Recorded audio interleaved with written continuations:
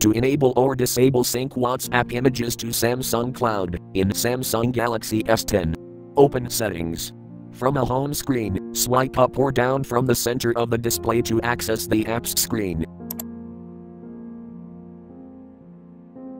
Tap Settings.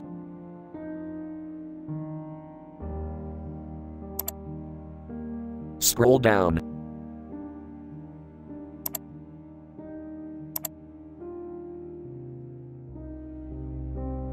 Tap Accounts and Backup.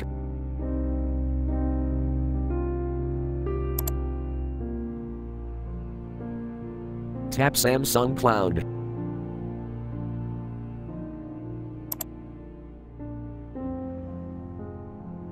Tap Gallery.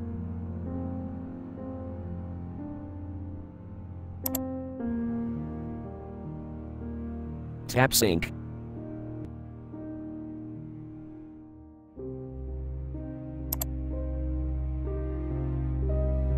Tap Albums to upload.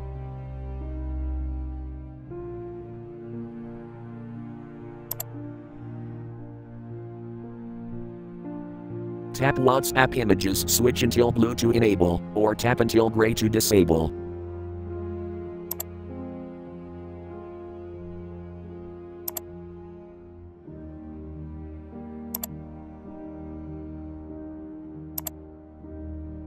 Thanks for watching, have a nice day.